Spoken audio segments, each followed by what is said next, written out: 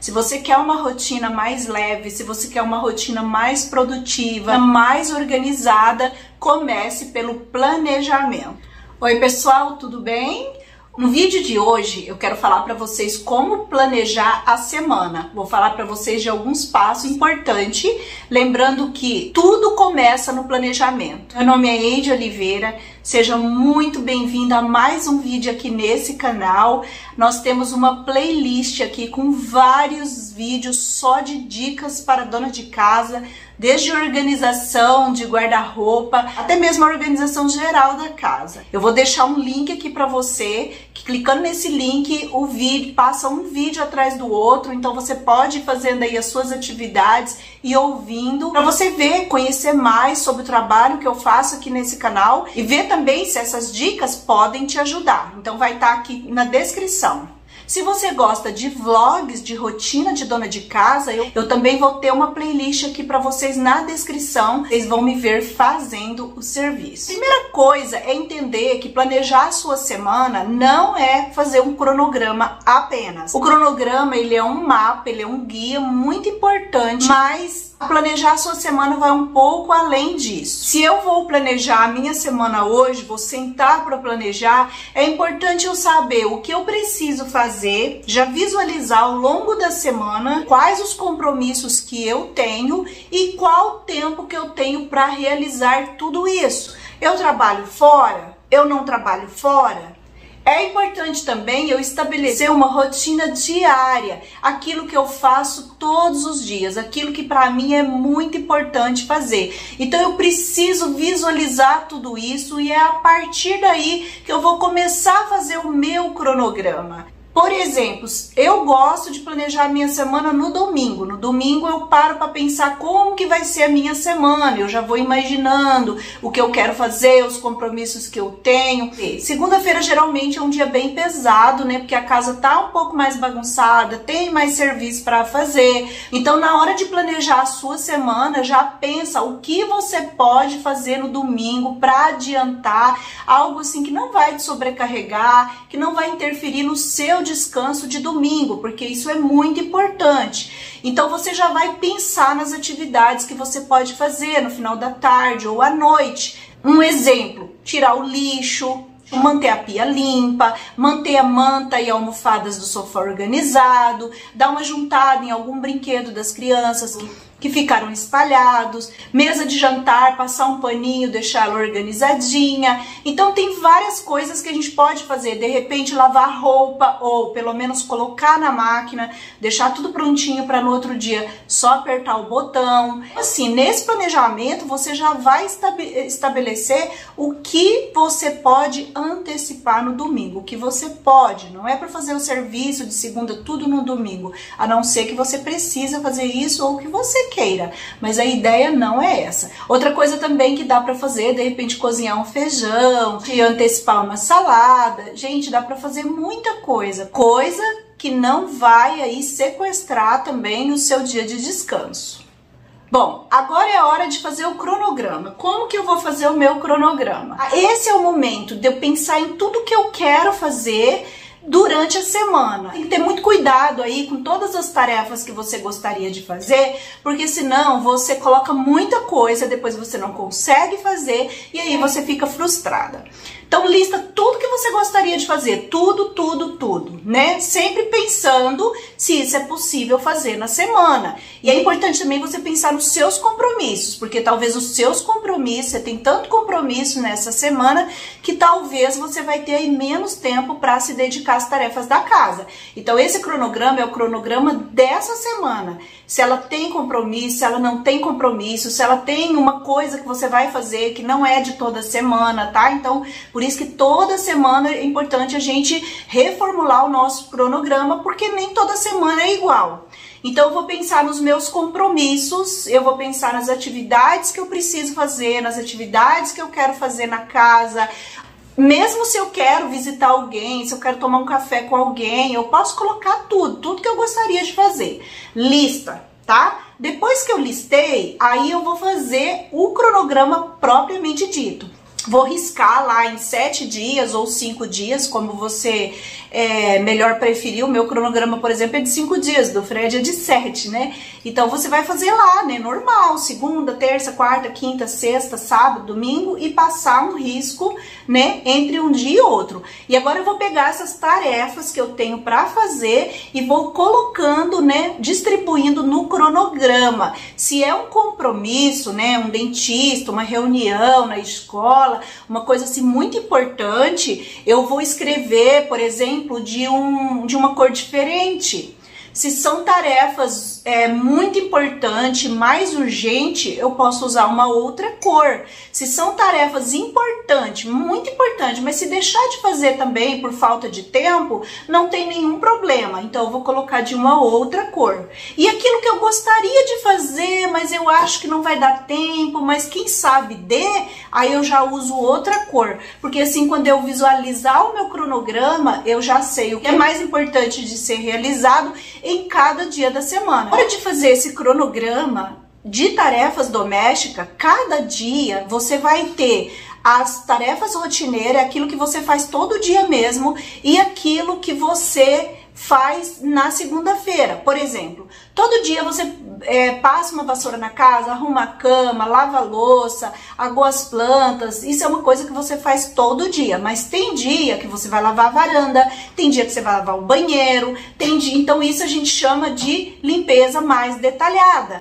tá? Então, você pode colocar assim, ó, rotina diária na segunda-feira. E aí você pode colocar ali o que você faz o que você gostaria de fazer toda na segunda-feira e depois você coloca lá limpeza detalhada e coloca lá o que você gostaria de fazer naquele dia. Eu, por exemplo, não escrevo no meu cronograma é coisa do dia a dia, porque eu vou fazer de acordo com a necessidade, né? É arrumar a manta do sofá, passar aspirador na casa, é, passar pano no fogão, limpar a bancada. Isso é uma coisa que eu não descrevo dessa forma. Eu só coloco rotina diária e aí, dentro da rotina diária, tem coisa que eu já sei que eu faço segunda, quarta e sexta, os outros dias eu não faço. E tem coisa que eu já faço terça e quinta e segunda, quarta e sexta eu não faço. Então eu já tenho isso na minha cabeça. Mas para tudo isso eu só escrevo rotina diária, até porque tem coisa também que eu faço de acordo com a necessidade. Às vezes naquele dia não tá precisando fazer isso. Então eu coloco rotina diária. Rotina diária seria tirar a casa do caos, seria dar aquela organizada básica na casa para deixar tudo apresentável. Aí vamos supor que na segunda-feira eu gosto de lavar as minhas varandas, então eu vou colocar lá lavar as varandas. Eu lavo roupa, então eu coloco lá lavo roupa.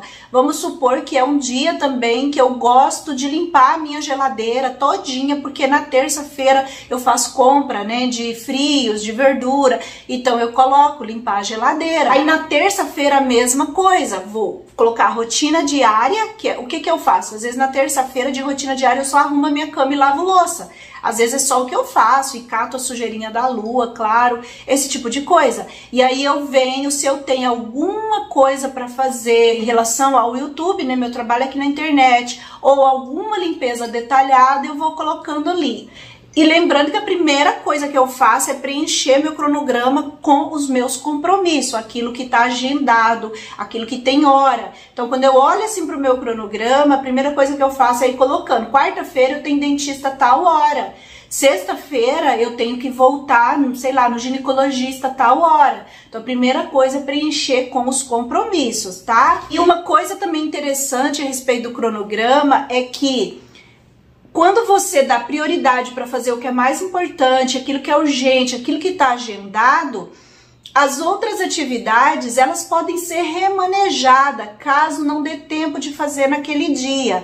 É importante também você fazer uma lista de tarefa com folga, tá? Porque às vezes você calcula que você vai gastar 30 minutos no banheiro e gasta uma hora na hora de lavar. Então é importante que seu planejamento tenha folga. Se você gastar mais tempo, não vai alterar nada nas suas atividades. Mas se alterar também, tudo bem. Você apaga aquele negócio que não deu para fazer, por exemplo, na segunda-feira e joga ele para outro dia da semana. Então é importante assim, segunda-feira eu vou fazer isso, isso e isso. A hora que eu for preencher ali o meu cronograma, é importante que eu já visualizo mais ou menos quanto tempo que me custa cada tarefa, pelo menos mais ou menos, porque senão eu coloco coisa demais. Se você fizer o cronograma e, e achar que o cronograma não está dando certo para você, pode ser porque você está pondo tarefas demais. Então refaça ele com menos tarefa. Faça diferente até você se adaptar. Quando eu coloco as tarefas da semana no papel, principalmente quando eu ponho tudo do papel, é muito desestressante, porque eu já tirei da minha mente. Então, tudo aquilo que eu não quero esquecer, ou tudo aquilo que eu não quero postergar, jogar para frente, tá ali no papel. Agora eu não preciso me cobrar. Se tem uma atividade que ela não é tão, tão importante, que não deu para fazer e eu estou cansada, é melhor eu encerrar meu expediente por aí e priorizar o meu descanso. Outra coisa muito importante que a gente tem que preencher no nosso cronograma todos os dias da semana, de domingo a domingo, é ter um tempo para descansar. Você pode ter um tempo para descansar e um tempo para relaxar. Eu não coloco a minha meditação junto com o meu descanso. A minha meditação eu faço pela manhã, nas primeiras horas, eu nem coloco isso em cronograma, tá? Eu faço de manhã.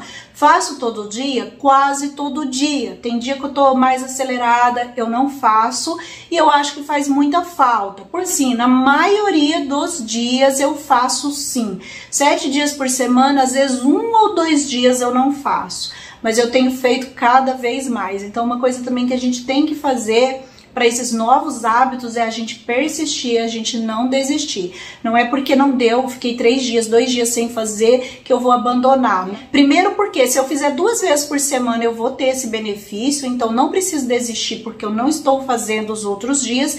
E segundo, porque é essa persistência que vai fazer com que isso vire também um hábito rotineiro, tá? Então, é importante ser persistente, ainda que tem dia que a gente esquece, ou tem dia que a gente não prioriza, né? Não é nem que eu esqueço tem dia que eu não priorizo isso e é uma pena, porque eu acho que quando o dia da gente começa bem, você começa com coisas positivas, você começa com a, com a mentalidade boa, de gratidão, de meditação, de, de se conectar com tudo que é bom o seu dia fica mais suave, as coisas fluem melhor. Sempre que eu dou dica para dona de casa ou falo de planejamento de rotina, algumas donas de casa falam: "Ah, mas eu trabalho fora". Gente, tudo que eu tô falando aqui dá para quem trabalha fora. A diferença é que você vai ter menos tempo para fazer as atividades, mas de qualquer forma você pode planejar a sua semana de acordo com o tempo que você tem. Você pode planejar os seus dias aí de segunda a sexta-feira ou de domingo a domingo, distribuindo as tarefas aí no tempo que você tem. Não muda muita coisa, tá? Quer dizer, para a gente fazer e realizar muda muita coisa, porque o seu tempo é muito menor, mas na hora de planejar a sua semana, não muda muita coisa. E na hora de fazer o seu cronograma, para você que trabalha fora, você pode fazer assim: antes de trabalhar, o que, que eu vou fazer? Isso, isso e isso. Quando eu voltar do trabalho, o que, que eu vou fazer? Isso, isso e isso. E determinar um número de horas para você fazer as atividades da casa, para você não ficar trabalhando aí muito tempo. E outra coisa importante é que assim eu consigo colocar um tempinho para fazer uma coisa que eu gosto um tempinho para eu aprender uma coisa que eu gostaria de ter aprendido, até hoje não aprendi. Na nossa live de domingo, algumas pessoas falaram: Ah, eu sempre tive vontade de aprender a fazer crochê, né? Então, assim, de repente você tem esse tempo e não sabe. Então, dedica essas coisas que você gostaria de fazer. Assistir vídeos no YouTube do canal Eide Oliveira, né? Então, são coisas assim que você vai inserindo na sua rotina para não para você não ficar só pensando em serviço de casa, porque nós que somos dona de casa, estamos há muito tempo em casa, a gente faz faz o serviço e a hora que a gente não tá fazendo, a gente tá pensando no que a gente vai fazer, né? Tá pensando no que vai fazer amanhã, tá pensando no que vai fazer mais tarde, tá pensando no que deixou de fazer e agora tá sentada, né? Então a gente fica com isso na cabeça. Então quando eu organizo a minha rotina, quando eu estabeleço qual, qual dia eu vou fazer tal coisa, quando eu estabeleço o tempo, esse, de tal hora a tal hora eu vou trabalhar na casa, mas esses outros horários eu não vou fazer tarefa de casa. Então, a gente consegue desfocar mais. Desfoque é o que vai me proporcionar mais leveza na minha vida perceber que eu tenho tempo, eu posso ter tempo para me dedicar a coisas diferentes, coisas que vão me ajudar no meu autoconhecimento, projetos, sonhos que estão parados, que eu posso retomar ou iniciar. Sim, uma rotina semanal planejada vai com certeza melhorar a sua qualidade de vida como um todo, não só em relação à casa, mas em relação a você mesmo. E se você tá bem com você mesmo, você vai estabelecer um relacionamento melhor, mais amável com você mesmo e com as pessoas à sua volta. Então, pessoal, Pro vídeo de hoje foi isso, eu espero muito, muito que vocês tenham gostado. Não esqueçam de deixar o seu like se você gostou, compartilhe esse vídeo com o maior número de pessoas que você puder. Um beijo bem grande, fica com Deus e até o próximo vídeo. Tchau, tchau!